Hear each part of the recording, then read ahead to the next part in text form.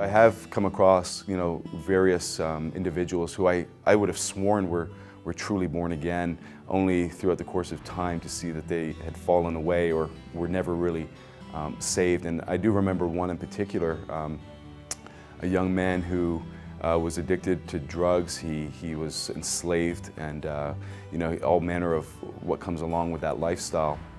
And uh, we had preached to him the gospel and, you know, he had reformed his life. He had gotten rid of the drugs, flushed them down the toilet. He was now coming to church. He got a job, um, he, pretty, pretty good job.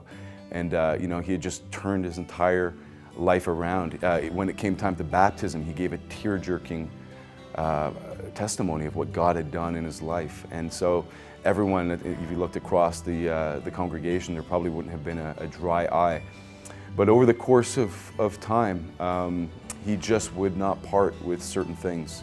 Um, he would not let certain sins go and worldliness. And he would always be kind of, I would say, uh, on the outskirts of, uh, instead of diving wholeheartedly and running after Christ, he would kind of um, toe dip and, and just want to know and acquire knowledge, but when it came time to actually giving up certain things in his life, it just didn't seem um, to have the appetite for it. And I didn't recognize it at the time. It was only until one time I got a phone call from this young man and he says, you know, I just don't think I, I believe in the Lord Jesus Christ is the only way for salvation. And, and who are we to say that, you know, this is true and everyone else is wrong? And so he began to question the veracity, the truth of the Word of God.